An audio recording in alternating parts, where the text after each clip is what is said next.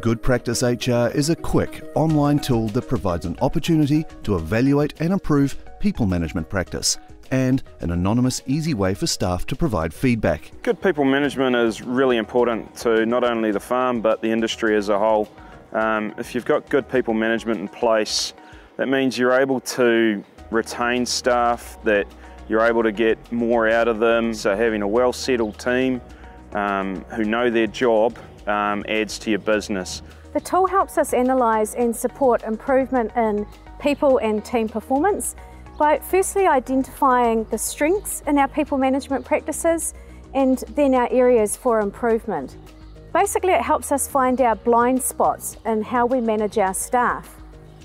All the questions in the tool are very much focused on improving team performance and getting the best from our team overall. So I found the, um, the tool to be quite useful. Um, just by going through it, it prompted in my mind a whole bunch of things that, yes, I should be doing that and gave me a lot of ideas um, about things I can be doing. For me, you know, it's prompted a few actions that I'm going to take and I think other farmers, if they do it, they, you know, they may not even need the staff feedback. Just going through those questions, they may just work out on their own that, yep, I've got to move with this. And I guess when you've got a bigger team, getting that staff feedback will be good so you see the whole balance of what the staff feel. I would encourage farmers to use this tool more than once, perhaps even make it part of your annual review cycle. The questions are asked and everyone's given us, us and able to score their results, which makes it an incredibly objective measure. Like we do benchmarking of our financials, it's an opportunity to do some benchmarking of our people management practices. To use Good Practice HR, managers and two or more staff confidentially complete a questionnaire online.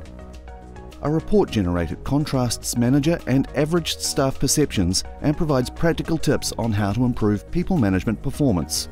As a result of using the HR tool, we've started weekly meetings just to ensure me that everything's discussed like production targets, goals, health and safety is talked about, any new hazards.